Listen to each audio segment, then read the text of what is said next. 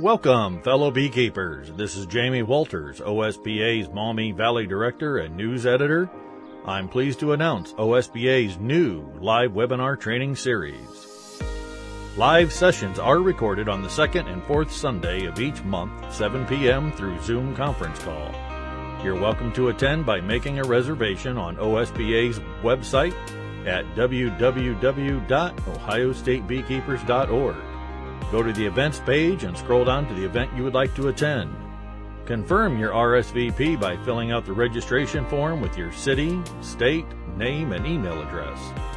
Approximately two hours before the beginning of Sunday's webinar, an active Zoom link will be sent to your email address. Each training session will be recorded and posted on the following Sunday on OSBA's new YouTube channel. You can find it at Ohio State Beekeepers Association.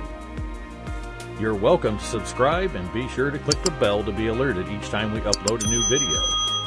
Each month's speakers and presentation will be posted on the Facebook page, by direct email to registered and paid members, and our website at ohiostatebeekeepers.org.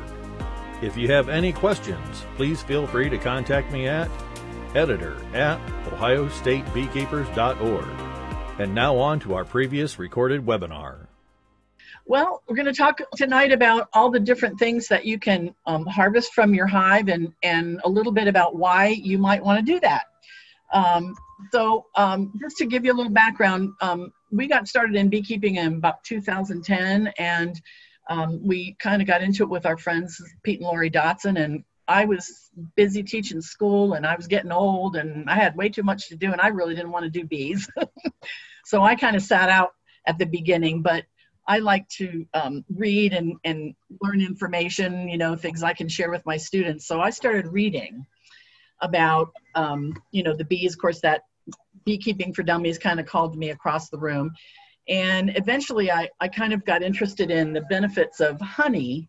And I found this book called The Honey Revolution. And that kind of got me started on this whole um, search for information about things in the hive as I was reading The Honey Revolution, I kind of started seeing the word propolis. And at that time, I really didn't know what propolis was. Um, but I, I got interested in it and I found just those two little books that you can see there were the only thing I could find, you know, eight years ago. Um, found them on Amazon and they're just little booklets almost like 25, 30 pages long. But it talked about propolis as this great um, health product and med- medicine, kind of a natural medicine. And I got really interested in and uh, kind of started really devouring that. And then I found NIH.gov, which is the website for the National Institutes of Health website. And oh my goodness, if you want to read to your heart's content about all of the hive resources, every single one of them, from honey to, to royal jelly and bee venom, are, are found there with tons and tons and tons of research. Uh, and you can just you know read forever to, to find out about the benefits of, of these things that the bees make for us in their hives. Um, then this this particular resource is one that you you may really want to take a look at. This is found on the uh, Food and Agriculture Organizations. Um, it's the actually a branch of the United Nations um, .org FAO.org. And if you search very carefully value added products from beekeeping, you ha- kind of have to get it word for word to make it come up. You will get this booklet online that's about 200 pages long, and it will tell you about every single hive resource, what it's made of, how the bees make it, how to harvest it, how to clean it, how to use it. It gives recipes. Um, it talks about um, uh, what the market for it is in different regions of the world. Uh, so it's really an outstanding uh, resource for, for anything you want to do with any of the Hive resources. So that really kind of piqued our interest and got us going on this. So, whoops, my goodness, it's moving without me doing anything. Um, we're going to start with start out with honey, and and um, hopefully you'll you'll hear some things that you didn't know.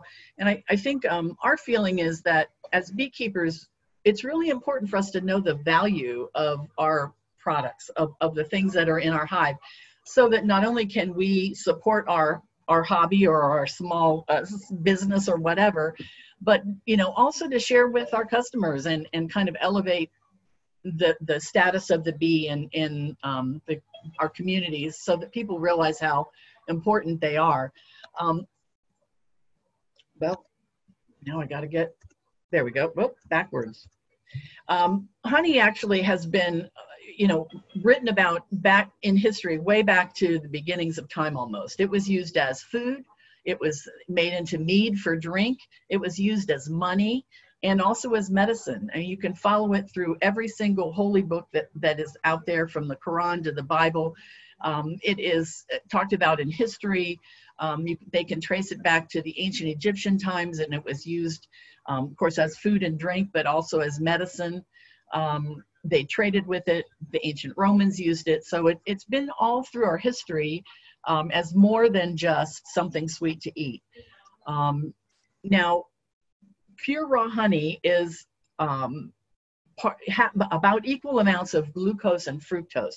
It's not the same components that you find in table sugar. You know, they try to tell us on TV that table sugar and and uh, high fructose corn syrup and honey are all the same, and they're really not. Um, uh, table sugar is sucrose. But it's important to know that because it, it is metabolized very differently in our body because of that.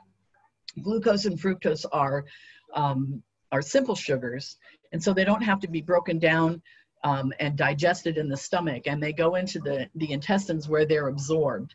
Fructose is absorbed very slowly, so um, honey has um, a less of an impact on your blood sugar. It doesn't spike your blood sugar as much.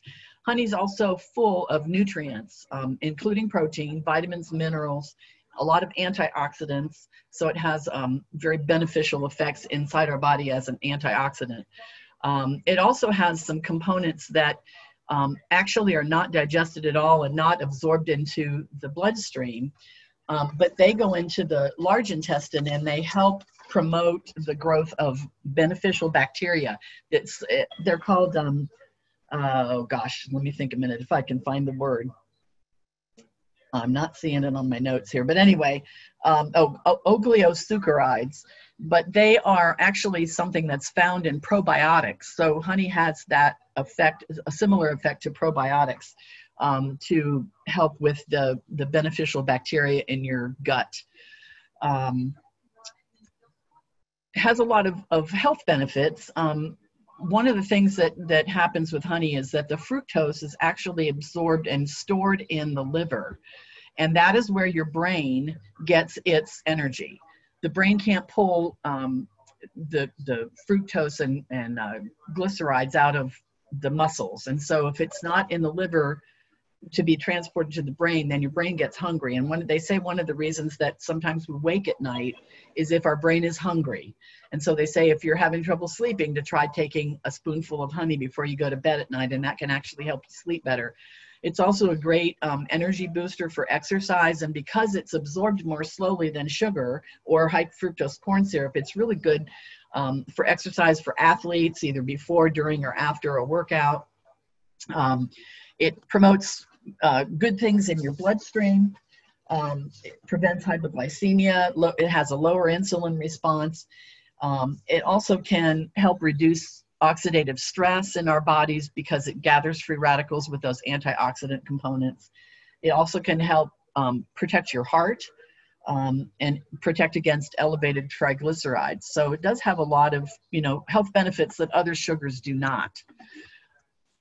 It also has medical uses. Um, honey is actually um, antibacterial, and it is now being used in just about every nursing home and, and hospital in the country.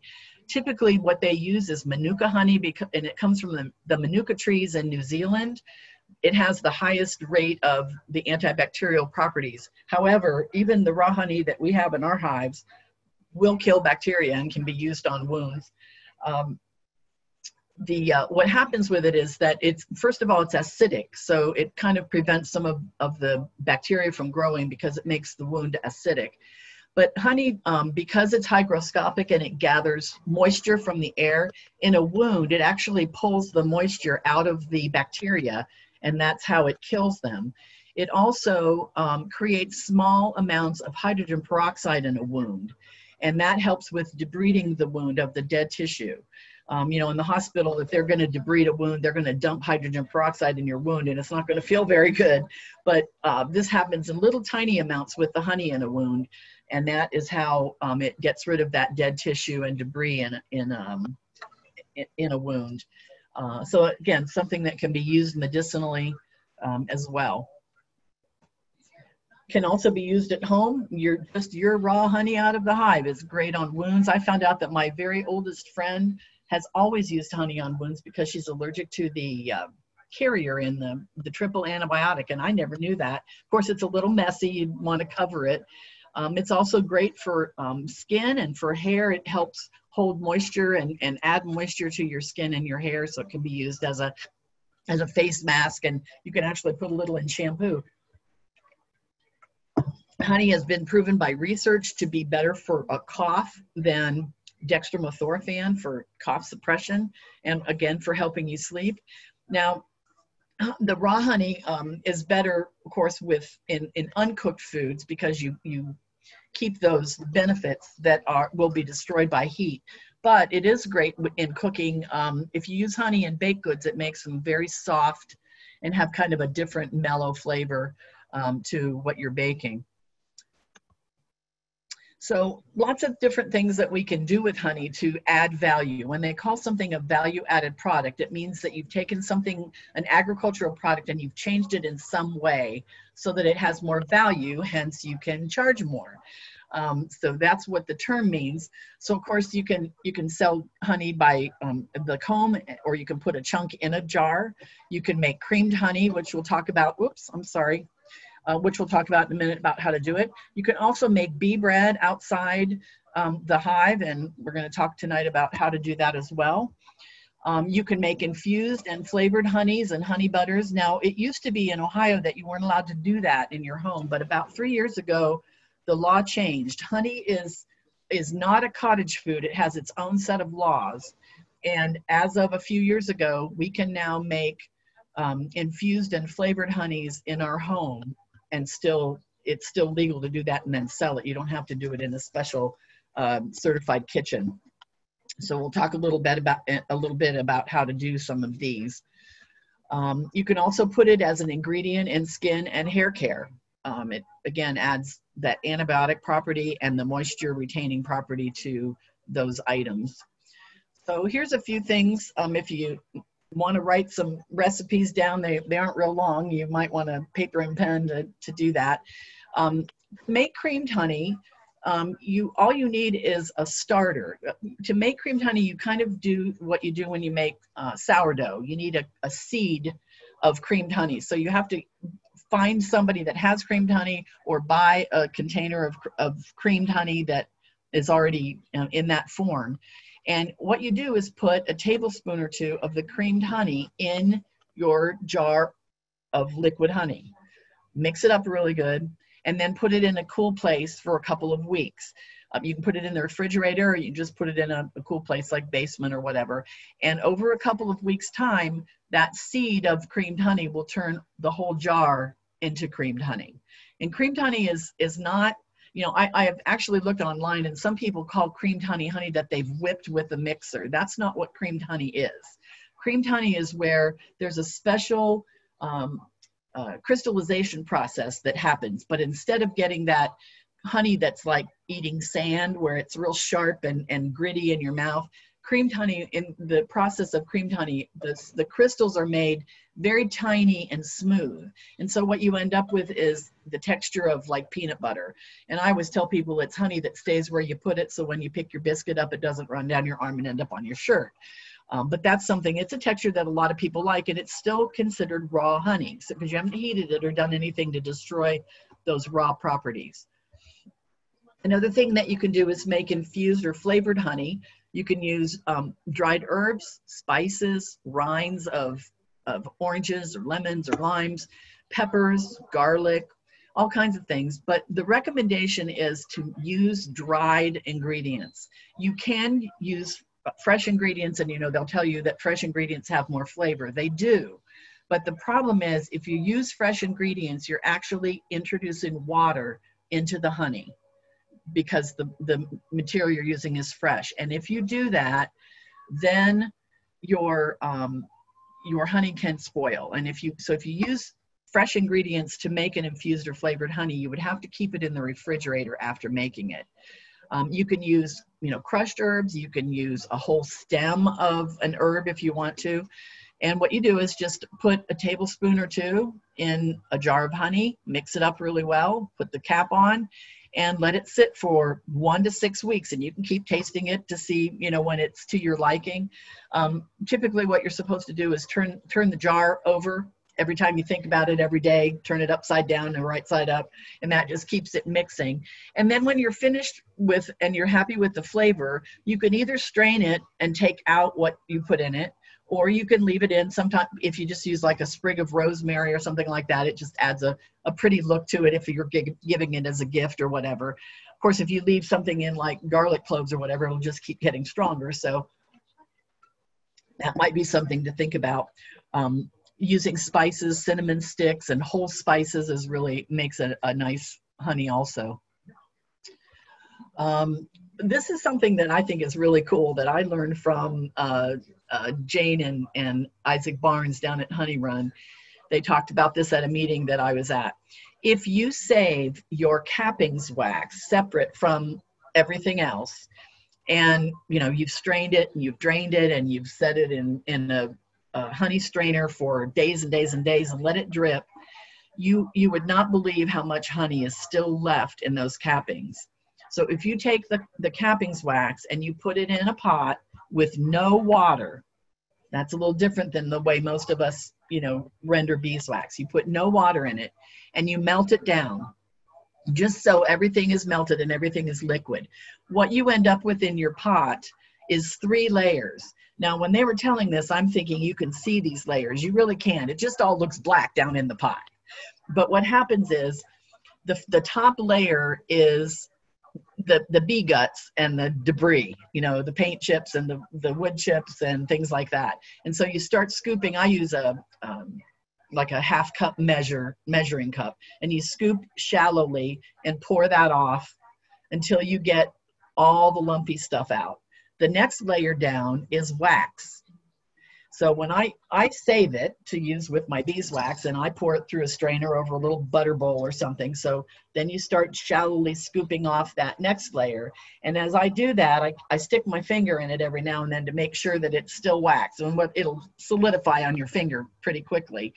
And then pretty soon you start getting something else. That bottom layer in that pot is honey and it's called baker's honey because you've heated it. You've heated it to at least 144 degrees by to get that beeswax to melt. So it's not raw honey anymore. However it's a great thing to use when you bake. Then you're not using your good raw honey to bake with. And you can actually go on amazon and find pints and quart jars of this. There is a market for baker's honey the the honey itself is a little dark and it's sort of caramelized so it has a little bit of a different flavor. It's a little more like molasses in some ways but it's it's a great thing. And when we typically when we have a 10 frame uh, medium i can get about eight quarts no i'm sorry eight pounds of baker's honey out of the cappings wax. When we have are sure we've gotten all the wax out. We've let it strain for days. There is still so much honey in there and we um, w- once I get to that that bottom layer and start scooping in its honey, I dump it in a bowl, and then as it cools, there may be a little skim layer of wax left on the top, and you just peel that off, and then what you have underneath is this dark caramelized honey that you can bottle up and use to bake with. So that's kind of a, a neat um, added uh, little prize you get at the end. Now, the next um, uh, bee resource I'm going to talk about is bee propolis. And this is really where our passion is because this is the most incredible stuff. And I know y'all hate it. We all hate it because it's so messy and sticky and it gets all over everything, but it is so incredibly valuable. There's probably more research on propolis on the National Institute of Health than there is anything else from the hive. Um, propolis is that tree resin but it does have some beeswax mixed in it. It does have some aromatic oils and it does have some pollen. And since the bees run it through their body, there are salivary secretions in it as well. And what it does for the trees is it protects the trees from getting bacteria, viruses, and fungus, molds, and yeast. And of course, does the same thing for the beehive. There's about over 300 compounds in it. I mean, the scientists really haven't even identified them all yet. And many of those compounds are medicinally active. So in the hive, it protects, it disinfects, and it insulates. They also encase intruders. If a mouse would get in the hive and the bees were still there, they will kill the mouse by stinging it to death, but they can't get the mouse out. And so they cover it in propolis, and that keeps the, the mouse from decaying and ruining the hive. They can actually trace the use of propolis back to the ancient Egyptians, and it was used in embalming. It's very possible that the pharaohs in the pyramids were embalmed in bee propolis. Um, it was used by Romans on, uh, as a tonic for battle and um, uh, as, on wounds if they were hurt. Um, it kind of fell out of, of um, the writings and so forth during the Middle Ages, but it, you can kind of follow propolis all through folk medicine documents. Um, it kind of had a revival in the Renaissance. Now, since World War II, there's been an incredible amount of research on it. It's very popular in Europe, uh, Eastern Europe, and Russia and a lot of the research has been done there. And um, I mean, people just know about it. We we have been told time and time again that. Um, from people in Europe that they buy it at the pharmacy in Europe. Every year at, when we do the bee pavilion with beekeepers at the state fair, somebody from Europe comes through and says, oh, we know what that is. We buy that at the pharmacy. We use it all the time. A year ago, a young couple uh, from the military that had been uh, uh, stationed in two different countries came through and she said, I have to tell you, in Europe, nobody uses antibiotics. Everybody uses bee propolis when they're sick. Um, and again, you can go find over 70 years of research on the National Institute of Health if you really want to know what it can do. So, research proven propolis is antibiotic, it's antiviral, it's antifungal, it's antioxidant, in your body, which means it, it helps gather free radicals from stress and it kind of has organ protective qualities. It's anti inflammatory, both inside and out, so it reduces swelling and redness and irritation. It's also analgesic, meaning it, it gives pain relief, it kind of numbs uh, to give pain relief, which is very useful when you use it. Uh, there have been clinical studies on all of these different things, and that means that these are human being studies. They've had studies on acne, eczema, psoriasis, shingles, rhinovirus, ear infections, upper respiratory, infer- women with um, endometriosis, infertility. If they take a thousand milligrams a day, can increase their chances of pregnancy from 20 to 60 percent. It's just amazing some of the studies that they've done. Um, upper re- or urinary tract infections. They've, they've shown that um, propolis kills staph, strep, MRSA, E. coli, salmonella, stomach viruses, wart virus, shingles virus, shortens the common cold by two and a half times, athlete's foot, yeast infections, all kinds of things. Um, and, you know, we, we have tried it and we can tell you that it really does work. There's over um, about 85 different conditions. I started making a list as I was looking at research and I have found research on all these different health conditions um, and diseases that they have tested propolis on with some success. So, systemic illnesses, whether it's strep throat or it's an upper respiratory infection, um, even things like rheumatoid arthritis, uh, diabetes. It has organ protection qualities because of its um, anti or its um, antioxidant capabilities. It will um, help heal damaged skin, and it does give pain relief um, in some cases.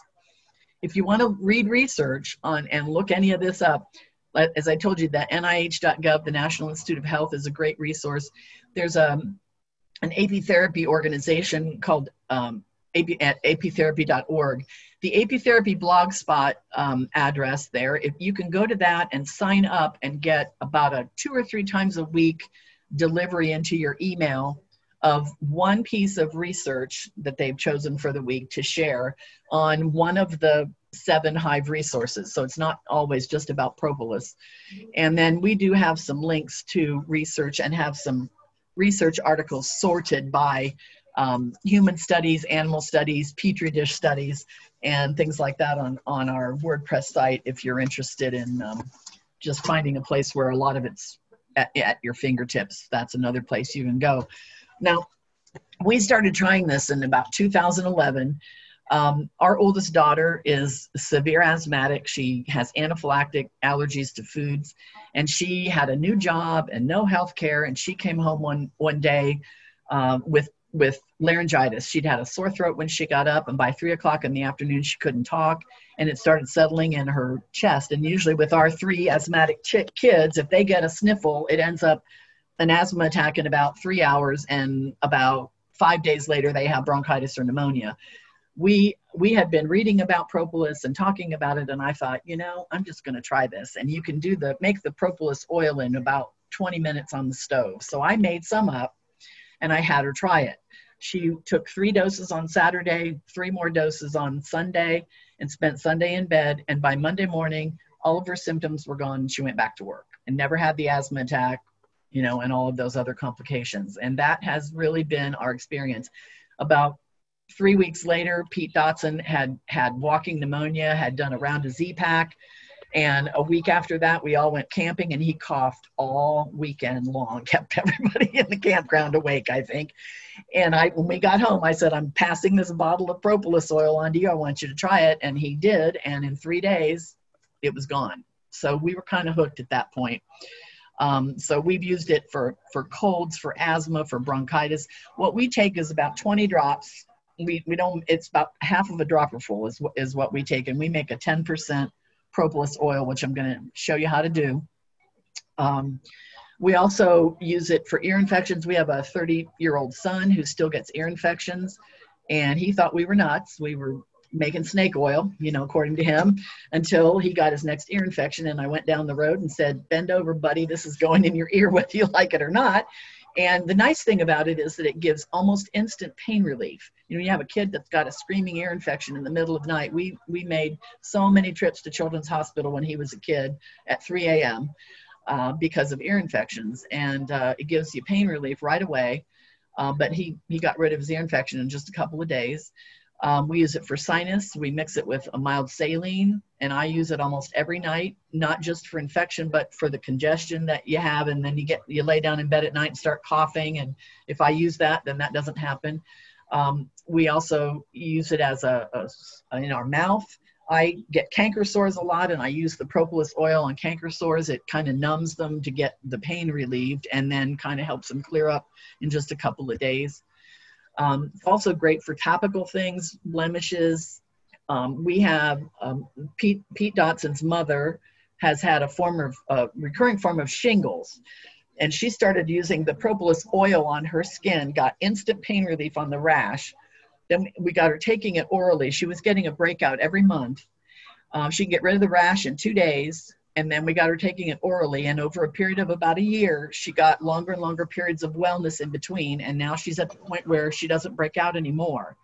Um, but she said the minute she forgets taking uh, forgets to take it for a couple of days the tingle on her skin comes back where the rash breaks out and so she knows she's got to keep up with it. Um, it'll also lighten up age spots.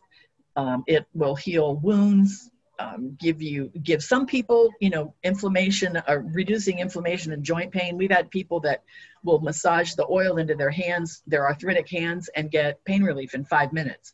That happens for lori and lori dotson. It does not happen for steve or i. So like like any kind of medicinal thing it's different for everybody. So it's just something you have to see if it how it um works for you. There's also research on pets and farm animals, believe it or not, and we do use it on our pets. Uh, we had this young couple buy it for their chickens that had pecked each other, so they had to send us their before and after pictures. But we've used it on um, dog ear infections. Ear, the oil will kill ear mites um, on their hot spots. If they're sick, we put it in their food or their water. Um, you know, rub it into. Lori uses it. She has a um, her son's little cockapoo that's gotten quite old and he has back problems. And she massages the oil into his back legs to give him some pain relief. So it actually does work for the animals. And this is how we use it. We use um, propolis oil or tincture. The tincture is always by definition an alcohol. So you, you make it either way and i'm going to show you both ways. Um, and there's benefit there's no they're both the same strength. It's just a matter of preference. If you don't like alcohol and you don't want to give alcohol to kids, you make the oil. If you want something that'll mix in a drink, you make it in alcohol and you can hide it in a drink if you want. Um, but we use about a half a dropper full.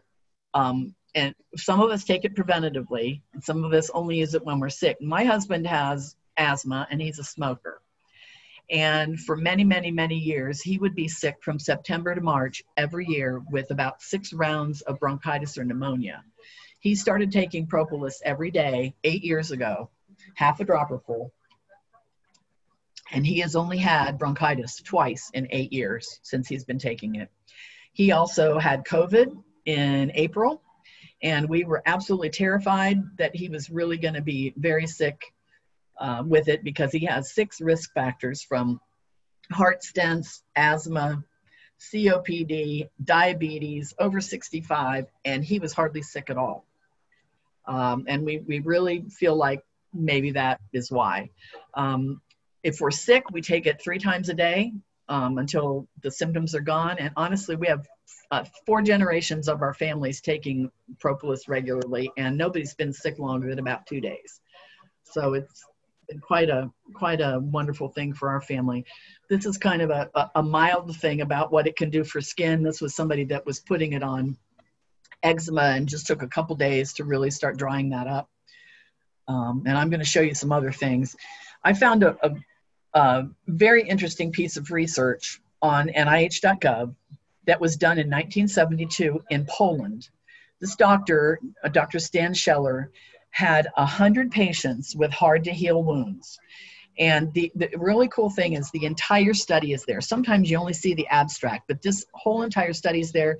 It tells where they got the propolis, how they collected it, how they cleaned it, how strong they made the ointments, how many times they changed the dressing on the wounds, etc and um, he had a tremendous success. And i'm going to show you some of the results he had. These aren't too bad. There are some quite whoops there are some that are quite more uh, dramatic than these but got the before and after with the baby with the burns on its face and then there's hardly even scarring left um, on, on the burns and the same thing for the hands. But they have some he has some photos of bed sores to the bone and these deep tissue ulcers. Uh, just amazing this is a chart that's in in his um, report, and basically it tells that what is it six seven different seven different kinds of injuries from burns to infected surgical incisions and how how many people there were how long they'd had the illness. And if you look at the, that yellow highlighted some of these people that he treated had these deep tissue ulcers that diabetics and the elderly get. Some have had them for 30 years unhealed and his overall success rate was about 80 i think it says 85% i can't see my percentage because the my picture's in front of it 87 but anyway um, just tremendous um, success with the way that he treated these wounds. And he used two and a half percent propolis ointment. That's it. Now we started collecting our own pictures to show you so if you don't like looking at wounds, don't look at the next few slides. I'll let you know when it's safe to look again. So this first one was a friend of Lori's from, from high school that she was following on Facebook, and he was complaining that he'd had this surgery on his elbow. It's now two months old, and the doctors cannot get this to heal. It's about two inches long, and he's using all his sick leave up. He's a police officer. He can't go back to work because this wound is still open and weeping. So Lori took pity on him and sent him a, a tube of bee rescue cream that's two and a half percent propolis. And in five days, he got this wound to close up. He kept taking pictures for us, and this is what it looked like after a month. And he said he kept using it on that scar and got the scar down to just a little teeny line that you can hardly see.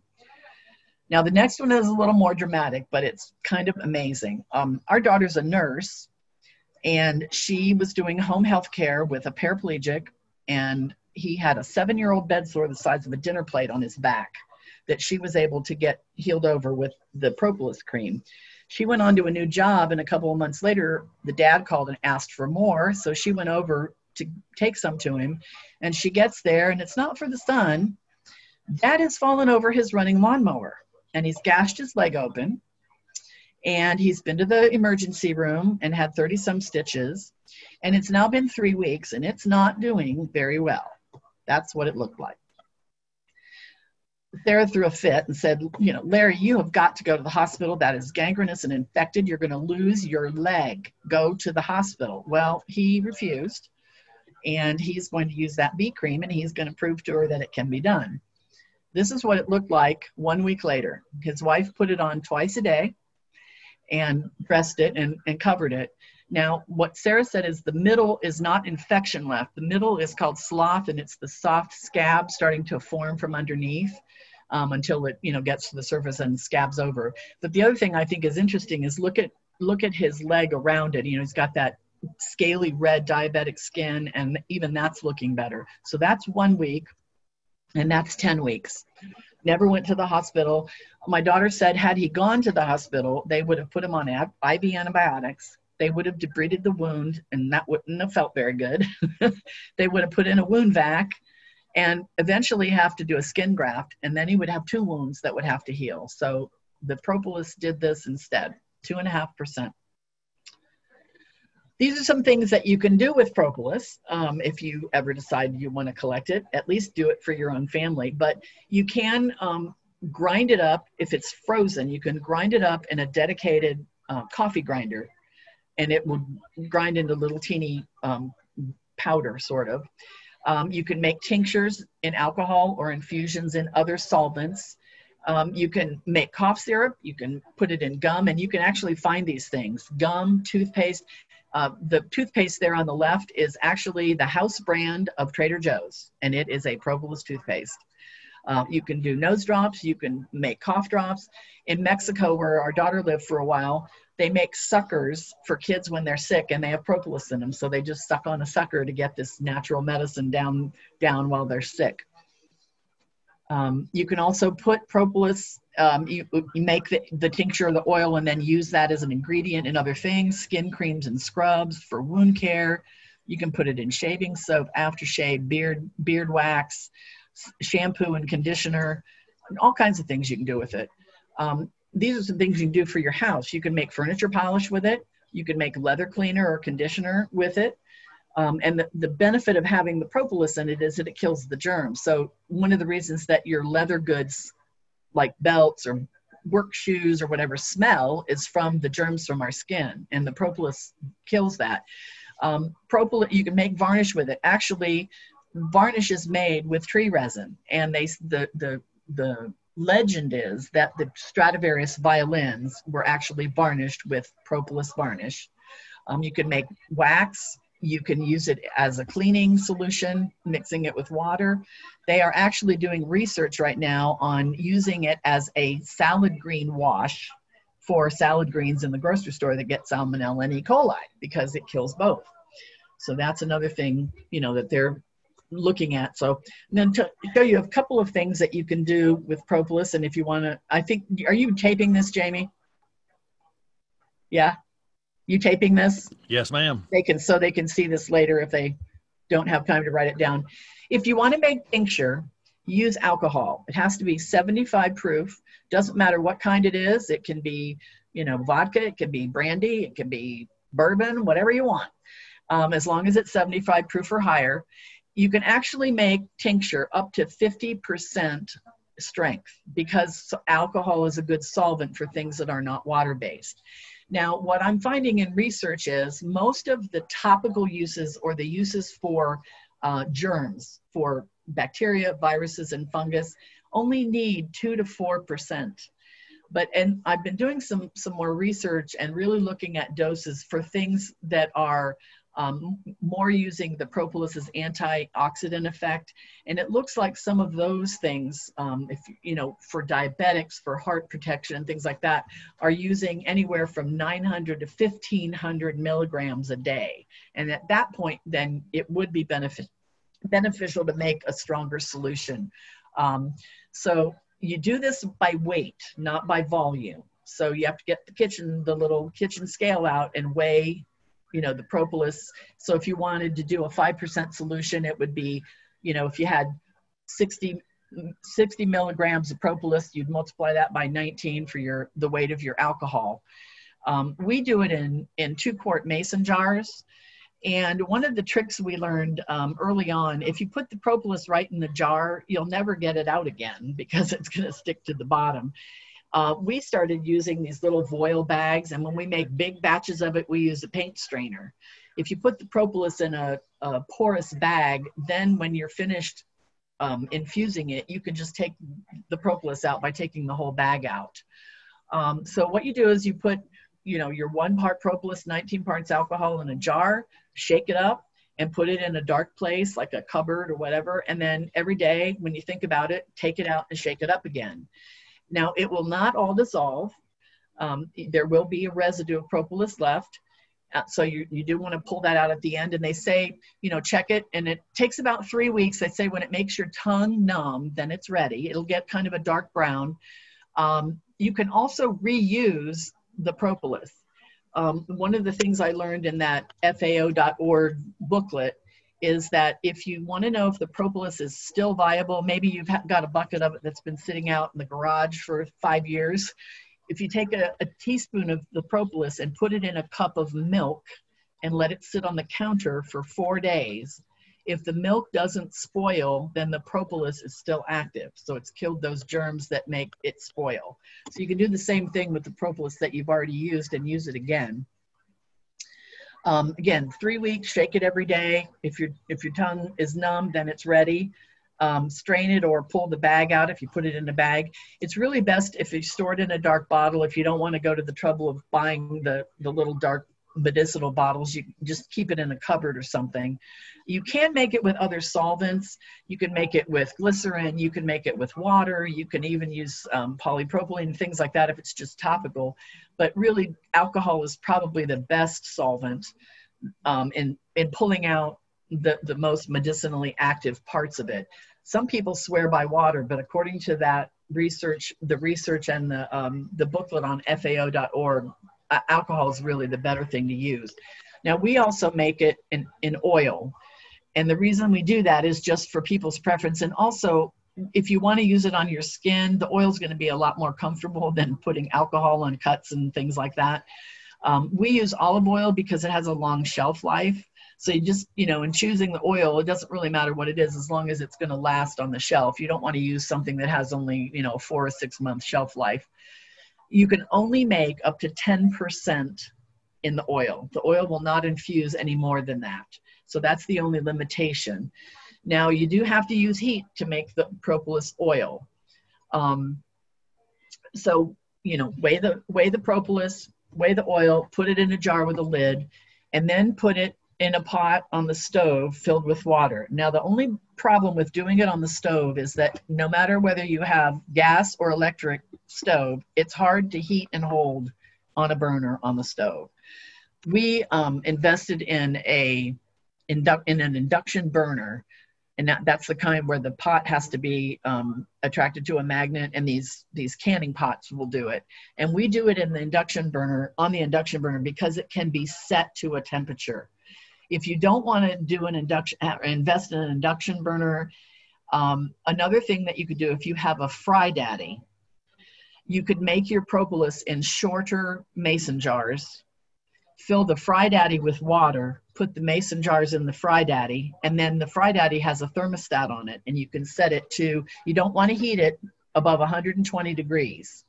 I just got a phone call from a friend of mine that lives up by Lake Erie, and she was wondering why her oil got thick, almost like a gel, and we're wondering if maybe she overheated it because overheating oils and, and even beeswax does change the texture of it. But you keep it at 120. Um, at 10 minutes, turn it upside down. Turn the jars upside down so you're heating, you know, making sure it's getting mixed and heating all of it. You want the water to be up to the level of the oil in the jar. You don't want to just have two inches of oil and only heat the bottom of the oil. Um, at 20 minutes, remove the jars and let them cool. And again, if you want to put it in dark containers, you can do that. Um, but that's that's how you make the oil, and it's easy, and you can do it in 20 minutes if you got somebody sick in your house. So, now the one thing I want to warn you about, we've we've been through the mill with with ODA and FDA. Um, propolis is considered, if you're taking it orally, it is considered a dietary supplement. And under the law, dietary supplements cannot be made at your home. They have to be made in an FDA and then ODA certified production facility. And there are only two that I know of in the state of Ohio. One is in Athens, it's called AceNet, and the other one is up north somewhere, and I don't I don't even know for sure where it is. There is one at OSU, but the students use it so much that most most of the time the public can't get into that one. Um, you can make it for your family all you want. You just can't sell it unless you do it under the law um, anywhere in, in the United States. As a, if you put it in creams and balms, it's considered a cosmetic. Now, the FDA website says you can make cosmetic products in your home or salon. We got in trouble with ODA and they told us, no, you can't in Ohio we all know thousands of people that are making lip balms and creams and selling them at festivals and farm markets and nobody's saying a word. So we you know we have to follow the law because we were told. But um, it is considered cosmetic. The only thing you have to be careful is you cannot put anything on any label of any kind saying what it really can do. You can't make any medical claims or anything like that or they will come after you because that's considered, you know, selling medicine without a license. So can't do that. Going to move on to pollen and um, talk a little bit about why this is, is valuable and important. Um, pollen is, of course, the male seed of the flowers, and it's food for the, the young bees. It's actually 40% protein. If you weighed out uh, pollen to equal the weight of a steak, the pollen would actually have more protein in it. It's also full of vitamins and minerals and um, antioxidants, all kinds of things. Um, it actually um, is, is nutrient dense and it can regulate, you know, intestinal function.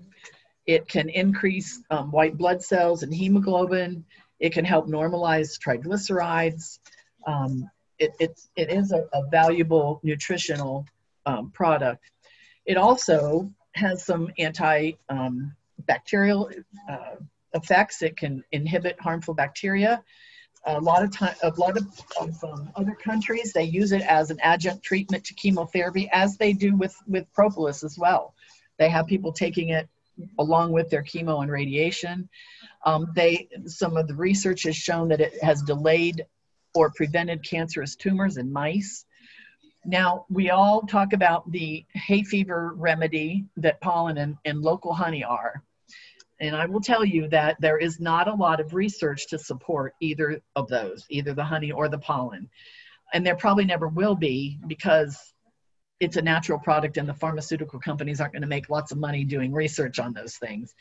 Um, there are t- there's tons and tons and tons of anecdotal um, promotion that honey and, and pollen help with allergies.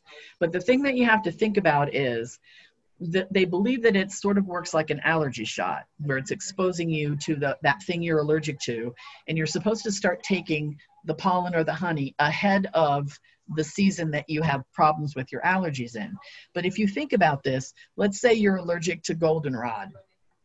Goldenrod is blooming right now. So take if you were taking honey six weeks ago to get started for goldenrod season and you were using your spring or summer honey that honey doesn't have any goldenrod pollen in it. And when you buy pollen, it's never sorted or labeled as to what season it was collected or even what plants it came from. So you really don't have any way of knowing. What you would really need to do, if it works the way they think it works, is you would need last year's fall honey that would have goldenrod pollen in it to help you get ready for the the goldenrod season. So, you know, a lot of people swear by it. There just isn't probably ever going to be a lot of research to support that. Um, some things you can do with pollen if you want to collect it. Um, you can grind it up and put it in in uh, capsules. And again, you got to use a, a, coffee grinder. A food processor will not grind pollen. Um, you can you can use it in smoothies, in in energy bites or uncooked foods, um, little energy bites and peanut butter bites and things like that. Can also be used as skin scrub. Um, the one thing I will tell you, um, pollen has a very hard coat on it. And it's very hard for our body to digest it. Our body can digest a little bit of it, but you really aren't getting the full benefit of the pollen unless you grind it up first or make bee bread with it. And that's what the bees do. The bees can't digest it any better than we can. So they layer it with honey in the cells, and the honey breaks down the hard coat on the pollen. Uh, and makes it the, the nutrients in it available then to their bodies and to ours. So this is what what bee bread looks kind of from a side view. I've read that it's called bee bread because it looks like slices of bread from the side like this. Um, I don't I don't think anybody really knows where that name came from, but um, again, there's a fermentation process that happens between the honey and the pollen, and it breaks down the hard coat. You can do this outside the hive. Now, purists will argue and say, well, this isn't really bee bread, but you know, they write about it in bee culture and call it bee bread this way. So um, you can make it outside the hive. There are recipes in that FAO.org booklet. The only thing about the recipes in there is um, they have you add probiotics to it, which I think maybe is a substitute for the, the bee enzymes and from their body. But they also have you add water. And I, I just don't know if that's a good idea because when you add water to honey, then you're setting up a chance for, the, for it to either spoil or to grow botulism. I don't, I just don't think that's a good idea. We don't do that. Um, but you can make it outside the hive. The interesting thing is that we have found that ounce for ounce, it is equivalent to runners and athletes energy gels. They're, you're getting the same amount of carbs for energy, plus you're getting protein and all the nutrients. Um, we have friends that use it in races. We have one guy that runs 100 mile ultra marathons. Why, I don't know, but he puts four ounces of bee bread in his water when he races. And he said he, he gets a really nice long uh, boost of energy instead of the high and the crash every 30 minutes that you get with um, the high fructose corn syrup and caffeine energy gels that athletes use. So um, the athlete friends and family members that we have really like it for, for that purpose. And this is how you do it. I'm going to show you how. Um, you can make bee bread pretty much in any ratio you want. Uh, of course, the more pollen you put in, the thicker it will be. And pollen has kind of a very grainy taste to me. It sort of tastes a lot like wheat germ. It's not my favorite flavor. So, of course, the more pollen you put in, the more grainy it's going to taste. But you can flavor it. Um, so one to two, one to four, one to eight, however you want to want to do that, and you simply um, mix it in a jar. And you have to, if you're going to use a, a, full jar of honey, you're going to have to dump some of it out to get the pollen in. But um, you put it in a jar, mix it well, and then set it in a warm, dark place for two to six weeks. And again, turning it over, flipping it up and down every couple of days to keep it mixing. The, the pollen kind of floats to the top. So you have to kind of keep it mixing. And over that period of time, the honey will break the, the pollen down. And then when you eat it, you will get all the benefits of the pollen as well. Um, so we use it in coffee or tea. You can put it in smoothies or energy bars, things that aren't cooked. It's great on toast or ice cream. We actually have friends that keep a bottle of um, bee bread in their drawer at work. And when they start nodding off about three o'clock in the afternoon, they squirt a, a, spoonful of it in their mouth. We had a lady one time tell us that she keeps a bottle in her car. She travels a lot. When she starts nodding off at the wheel, she takes a spoonful of bee bread. Um, it really does perk you up. I, it, it doesn't make you jittery like caffeine does, but just in 10 or 15 minutes, you suddenly realize that you're not kind of nodding off and your eyelids don't feel heavy. And then we have athlete friends and family members that use it before, during, or after their workouts. All righty. Now, how I'm gonna, I think I'm gonna pr proceed on to beeswax real quick. I think we got time for that, and then we'll see. Um, I knew this was going to be long and we might not get to, to everything. So we'll see how it goes. If that's okay. Jamie, does that sound all right? He's not talking. Good, Jamie. okay. So, um, just. No, just you're good. Okay. Um, beeswax actually has 284 compounds and 48 of them are actually part of the smell that it has.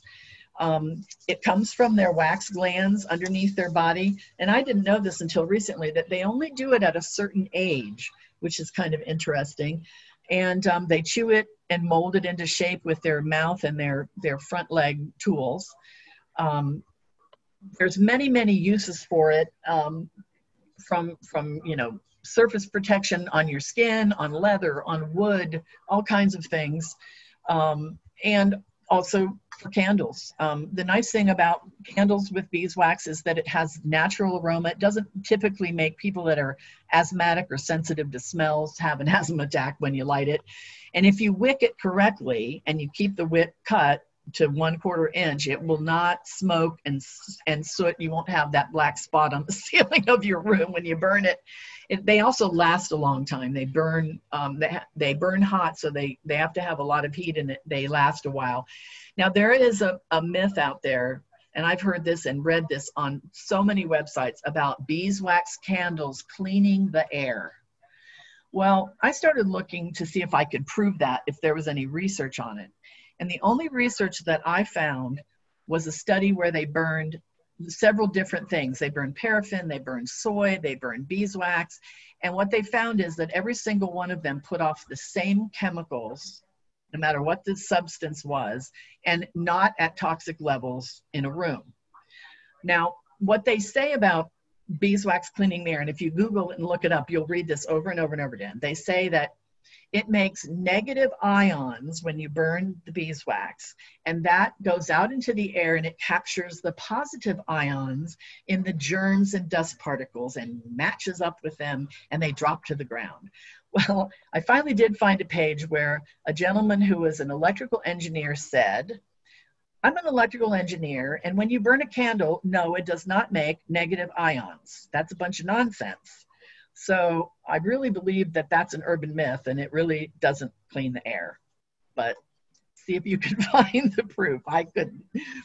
Um, th- these are some different things that you can do with the beeswax once you've rendered it and cleaned it. You can put it in skincare and hair care. Beeswax is a great substitute for petroleum products. You know, if you look at the things that we buy at the grocery store to put on our skin, it's kind of shocking when you start reading labels and so much of, of you know skin creams and things like that are made with petroleum products.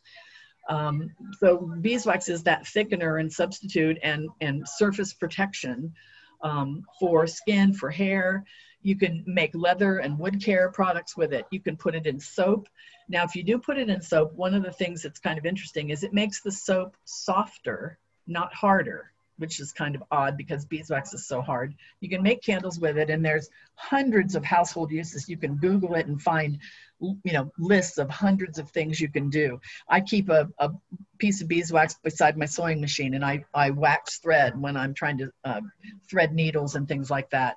You can, you know, uh, resurface wooden bowls, cutting boards, things like that. You can dip uh, uh gardening tools in it to keep them from rusting, just all kinds of things that you can do. Now, some hints for working with beeswax. We used to um, melt beeswax. Now, this is this is after it's rendered. You know, we render it in an old pot over a, a a, bur- a, burner that we use in the garage. I don't, it, you know, we've done it in the kitchen and then use great beeswax off the kitchen floor for months afterwards. So we usually render our beeswax outside in an old you know yard sale pot and with with water in it and then you dump the whole thing once it's melted into a pickle bucket through a strainer and the beeswax floats to the top and melts into a, a disc. But once once the beeswax has been rendered and you're working with clean beeswax to make something we use a fry daddy. And the reason is the, the crock pot takes forever to heat up. And when we've used crock pot before, we have all the other ingredients ready and we're waiting and waiting and waiting for the beeswax to melt in the crock pot. The other thing that happens is I have an old crock pot that has two, two settings, low and high. And even on low, eventually the crock pot gets too hot and the, the wax starts to smoke. And when it starts smoking, then you're destroying properties and you're changing the texture of it. Um, with the, the Fry Daddy, there's a ther- on many of the models there's a thermostat. And if you buy one with a thermostat you can set it right below you know right at low and it won't ever get above 140 or 150 degrees. So i set it just so the beeswax starts to melt and leave it there. Now you know a lot of times on most places it'll tell you to to melt your beeswax over um, a double burner. The problem with that is it takes forever to melt and really, if you look at the flash point versus the melting point, the melting point of beeswax is 144 to 147. The flash point where it starts a fire is 400 degrees. So if you're careful and you don't ever walk away from it, it it's very unlikely that you would ever have it flash on you if you're only heating it to around 140. I think when you're making candles, if you're doing candles in two pours, you do the first pour at 144 and then you heat it up to about 180 for the second pour so that it sticks.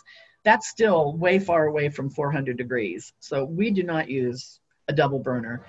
And we've also found that the best strainer for that final strain before you put it in a product or make it can with make a candle with it is cotton knit material old t-shirts and things like that really strain out the last little teeny tiny fine particles um, the other thing that we, what we used to do when we were cleaning up our utensils and stuff after melting beeswax was that i would fill the pot and put all the utensils in it fill it with boiling with water and heat it up to boiling.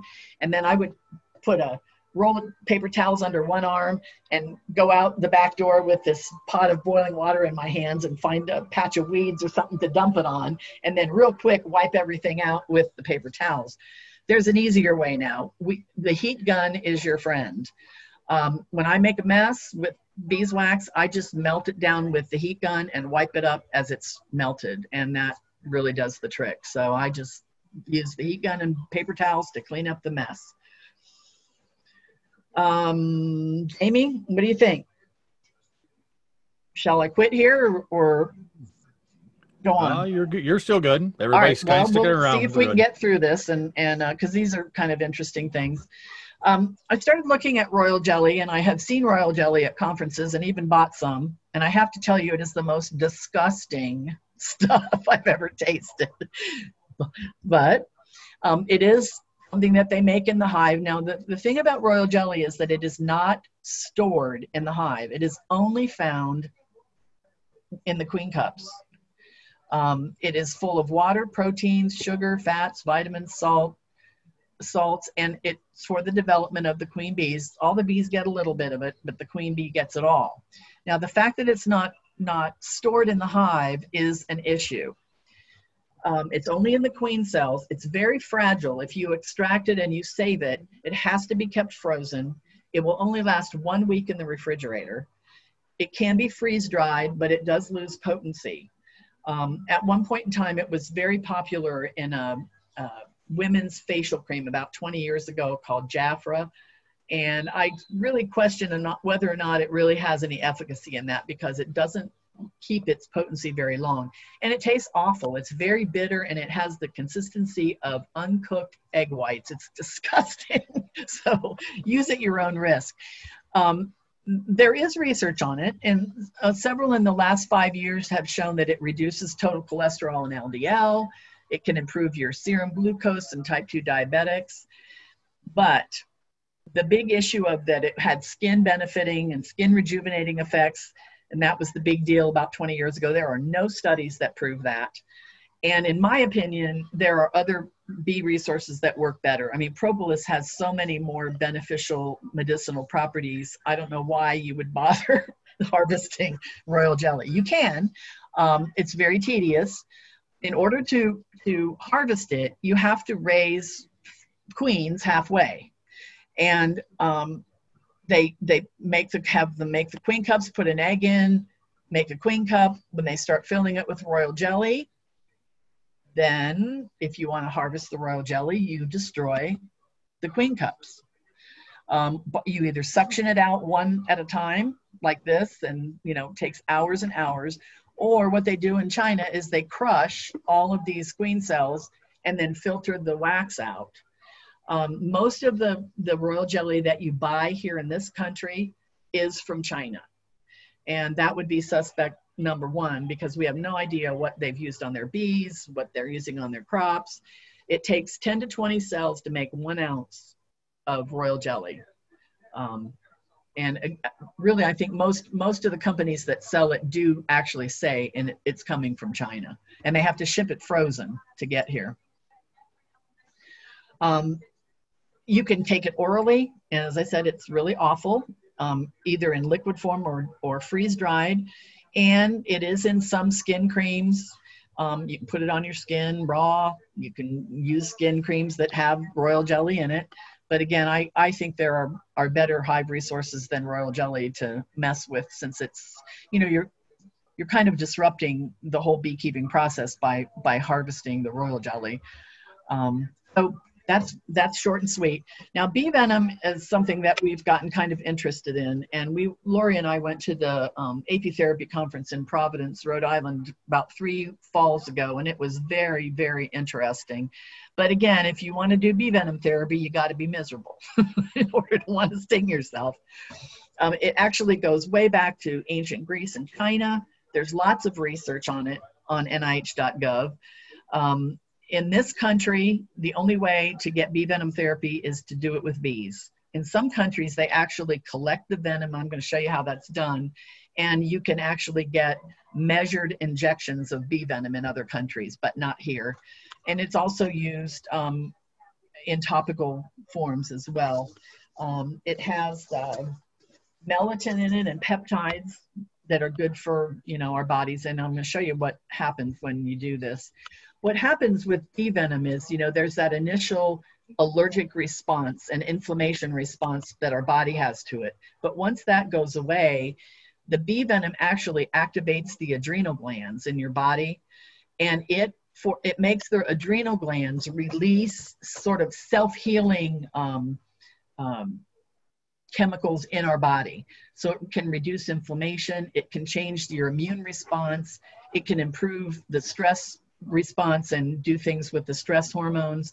And it actually has been proven to inhibit tumor growth. Um, there's been a lot of research on um, arthritis pain from, for both kinds of arthritis, on allergies, on asthma, on eczema, and um, showing, showing success with bee venom therapy. Also on these immune disorders, rheumatoid arthritis, lupus, and MS. Um, I'm sure you've probably seen some of the pictures of people getting multiple, you know, 15, 20, 25 stings for MS and people getting improvement of their symptoms. Um, so that is being done. Um, also for Lyme disease. Um, at, at this conference, I talked to a young girl about 20, 25 who had Lyme disease and the problem with Lyme disease, Lyme, the Lyme disease gets a biofilm around it so that most of the traditional medications cannot penetrate that biofilm to kill the Lyme germ. And what it does is affect your immune system so that you get all these other infections that you wouldn't normally get if you didn't have Lyme disease. So it's the secondary infections and complications that most people suffer from. Um, but this young girl had Lyme disease and she had lost her ability to walk she had started, um, she had gone blind in one eye and started having daily seizures, all as a result of the Lyme disease. She had started bee venom therapy, and in six months' time, they were stinging down the between the vertebrae, down both sides of her spine, and that's where all the nerve um, roots are. Within six months, she had all of her faculties back, and her Lyme, uh, her her germ load for the Lyme disease was almost zero. So that's pretty amazing. Um, also for neurological disorders like Parkinson's, ALS, and even Alzheimer's, they're finding people can, um, you know, reduce the symptoms and things like that with the bee venom therapy. Um, and we've tried it and we do it. Um, this is the way it's actually collected. You can actually buy these electrified platforms.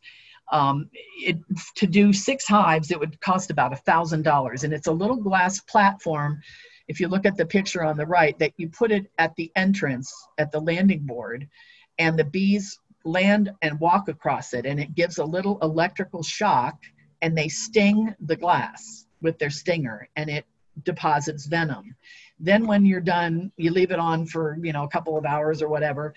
Uh, if you look, look in the lower left, they you scrape this dried venom off little teeny tiny amounts. It takes a million stings in 20 hours to get one gram of venom. Now, a gram weighs what a small paperclip weighs. So to get just that much, that's how many stings it would take. So it's kind of a labor intensive, but people do, you know, ha- collect this from their hives and they sell it to companies that in this country they put it in skin cream. It can't be metered doses but it is found in some skin creams.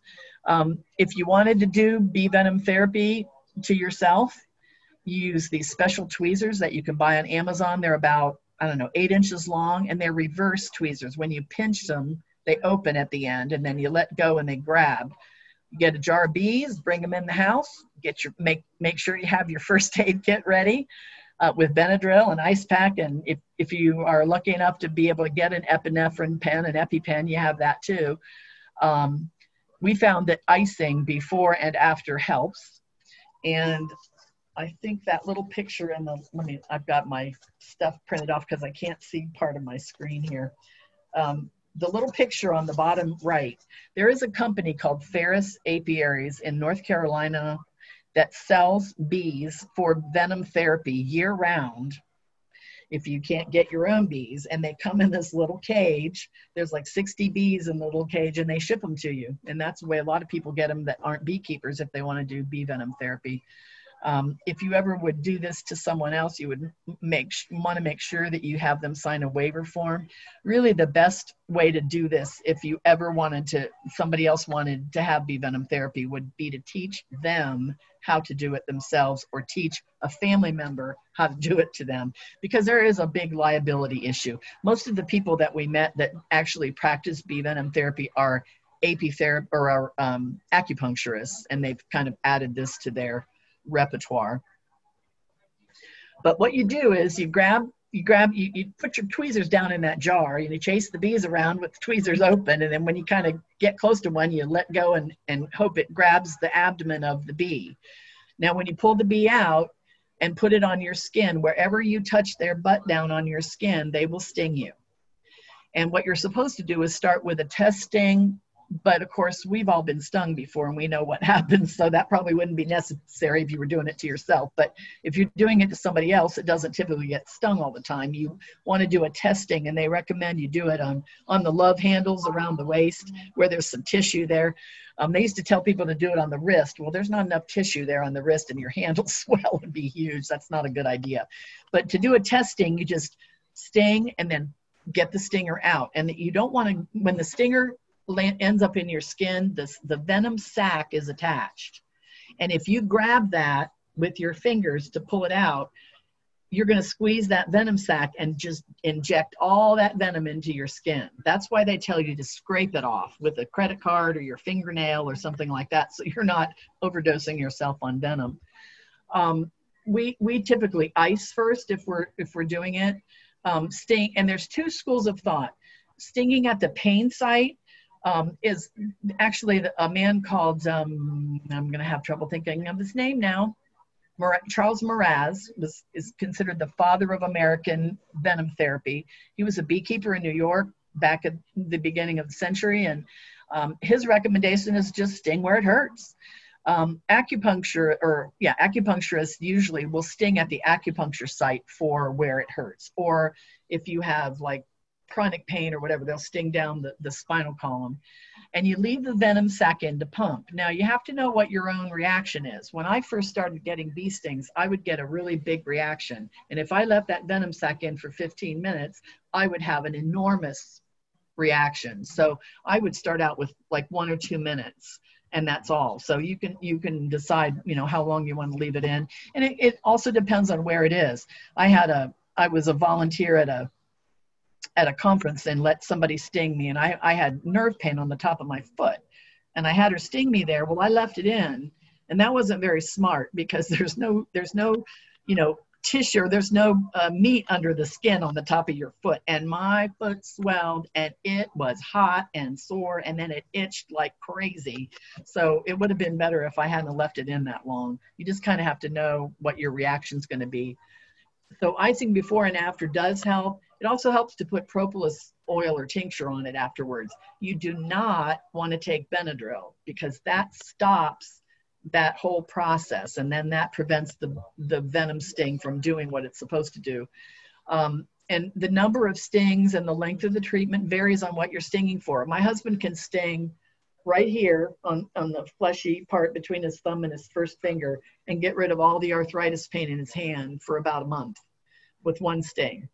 Um, but if you're if you're dealing with something chronic, um, you might have to have a, mo- a month or two, or it might need to be you know six months, or it might need to be every month, you know, five stings every month for the rest of your life or whatever. It just depends. Um, they say to start off with one and then, you know, every couple of days, you, you do it every other day or every third day, uh, build up if you, if you feel like you need to. I get bursitis in my shoulder and I will do one to three stings across the top of my shoulder. And usually if I just do it once, I'll get some relief for quite quite a few months. You can also pull the stinger out of the bee with your tweezers and and take the the the stinger and just do many like if you had they were going to do a, a mole on on my face and you just kind of poke it around the, the something and that way you're not getting the full sting um, but you're you're kind of spreading it around and that's a way to another way to do it on, on places that are sensitive we've actually done it, you know, for arthritis, for bursitis in my shoulder. Uh, Pete Dotson's done it for back pain. Lori had a big mole on the back of her neck that she stung every other day for about a week and got the mole completely shriveled up and fell off. We know people that have stung their knees for when you have bad knees. Uh, we have had, and I will tell you this, Lori, Lori was stinging a friend of a friend who was a massage therapist and she was starting to have trouble with her hands hurting and that's kind of a problem when you use your hands for your job. So she was getting bee stings and she got bee stings all summer long. And one day she came over to get them and i was over visiting at lori's and she had an allergic reaction. And we had to call the squad and she had to go to the emergency room so it can happen. You know, we I'm sure we all know people that have had gotten a sudden allergy to bee stings, even though they've been stung numerous times and just all of a sudden something goes haywire. So that's the thing, you know, with stinging other people is that it becomes a liability issue if you're doing that these are two great resources that I found if you want to, you know, try out the bee venom. The Health and the Honeybee is the Charles Mraz um, book, and it's very um, conversational, and he kind of tells stories about his his clients. And he did work with doctors at Johns Hopkins and and some neat things, uh, but he was just a, a beekeeper. Um, the other book is called Acupuncture Points Quick Guide, and it's really nice because you know if you start looking at acupuncture stuff, there are thousands and thousands and thousands of acupuncture points on the body. This is a very abbreviated version that does one meridian at a time, and it'll show you maybe five to 10 of the most important spots on that particular site and what each of them is for. So I went through it with two different colors of highlighter, one for my, my issues and one for my husband's, and highlighted places that might help with the chronic pain I have or things like that. And then you, uh, if you're if you're using acupuncture points, sometimes they'll say do uh, split your body into thirds and do the top third one day, and then two days later do the middle third, and two days later do the bottom third, something like that. Um, so it just it's just um, different schools of thought, and you just have to kind of experiment and see what works best for you. That is all I have, and um, if you have questions, I'd be happy to entertain those at this point. All right. Thank you very much, Jeannie. Yep. I'm going to launch a poll, and the poll is part for uh, the live session and also for OSBA. And we're kind of tracking what your guys' feedback is. I've also launched a poll on the chat. So please go to the Survey Monkey, and we're asking you guys to give us feedback, and those are the presenters that we're looking for. Um, the pollinators is after this. We're talking to Mike Reeder. He's going to be for OPI, Ohio Pollinator Habitat Initiative, and he's from Pheasants Forever. He's the program director. So if you give us some feedback, this is what we want to do for you guys, and this is what I want to do. Um, some questions for you, Jeannie. Yeah. Early on, they asked, uh, Lisa asked, what does the propolis taste like? Uh, it kind of tastes like um, tree sap you know? Um, to me the the oil is i use the oil more because i have canker sores a lot in my mouth and it to me it tastes like olive oil with tree sap in it and it does have a little bit of a bite to it. It's it's numbing. Um, in the in the alcohol it just tastes like the alcohol to me uh, whatever you whatever you make it in. Um, and it's uh, we take it straight. You can hide the alcohol you can hide in a drink and not really taste it. You can, you know, you know it's got alcohol in it, but it's not real strong. Yeah, and, and I'll say the same thing. I we we buy stuff from Jeannie. My wife does, and we use it around the house also. Now you uh, can't you can't eat you can't eat propolis raw, but if you chew it, it will turn your teeth orange, and it doesn't go away very fast. It's not a real pretty look, so be forewarned. But I have used it. I used to get canker sores on the back on the side of my tongue, and I was a school teacher and then talk all day and it would just rub and rub and rub. And so I'd take a piece of propolis and make it, you know, roll it around and make it warm like wax and stick it on a tooth back that's rubbing against the canker sore into my mouth. So you can't eat it. Okay, go ahead. All right. Jason England's got a question. Can you give us a brief synopsis on how to collect propolis, the yield per trap? And I can't recall what you use for the trap. Okay. Um, to me, the traps that they have out there that they sell at the bee companies are not real great. Um, first of all, the bees will fill a space that is three eighths of an inch or smaller with propolis. If you make it any bigger than that, they'll put wax in it, and you don't want the wax. Anything that starts being shaped like wax, like a hexagon, is got too much wax in it. So anyway, if you put a propolis trap on and needlepoint canvas with three eighths of an inch smaller holes is actually better because it's real flexible um, the ones that they sell are so stiff. What you're supposed to do is put it on top of your top box, block the lid open. They never tell you that. Doesn't work if you don't block the lid open. There has to be light coming through it or they won't fill it. So you put a stick under your lid. Then you take it off once it's filled with propolis, put it in a big garbage bag, put it in the freezer. Then you're supposed to be able to just twist it like this inside the trash bag when it's frozen and it's all going to fall off. But that doesn't really happen. You spend a lot of time picking at it with your hive tool to get it off. If you had it on you can even use window screen or lightweight um, hardware cloth that has small holes in it and put that on. Um, those are easier because you can roll them up put a rubber band around it freeze it and then you can really manhandle it and get all that propolis to break off um, the other thing that we do is we put flat thumbtacks on the rims of the boxes of our hives so that when you put the next box on, it raises the box up just a little teeny bit and they'll put they'll fill that crack with propolis so then every time you go out to inspect and you take your boxes apart you can scrape that thing of propolis off. And honestly jason if I, I figured it out one time if you had about a walnut size amount of propolis you could make almost two quarts of oil or tincture for your family. Now you don't want it in that form. You want it broken up. You, what you do is bring it back. And every time we inspect, you know, the propolis that's in the way, you don't want to take the propolis away from the bees because it's there for a reason. They need it. But all that propolis that's in the way, when you pull frames out and it stretches out and you can't get the frames back in because it's so sticky, the stuff that you scrape off, instead of scraping it off in the grass, save it, you know, bring it in the house, put it in a baggie and put it in the freezer and just save it like that until you're ready to deal with it. You wash it and you smash it up little with a hammer when you're ready to wash it. Smash it up while it's frozen. Put it in a bucket out in the grass. Fill it with cold water and swish it. And the beeswax and the pea parts and the grass floats to the top and the propolis sinks to the bottom.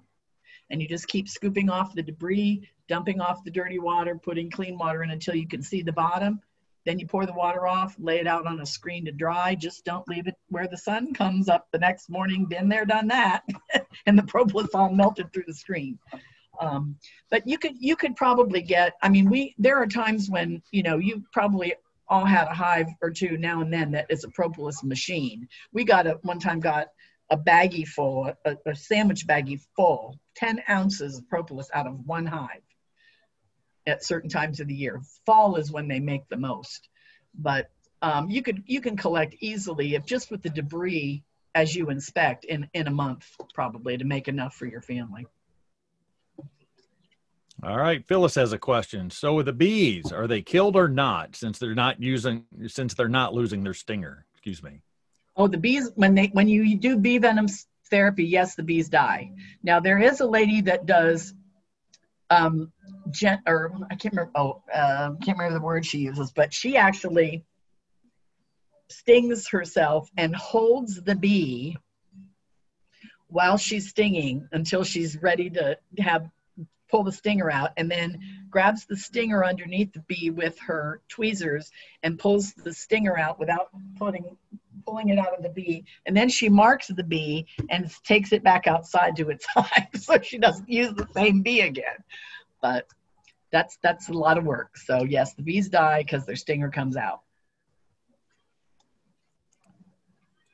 All right, we have a question. When you make the oil-based propolis, how long do you keep it in, and how long do you, how long can you keep it and use it? Excuse me.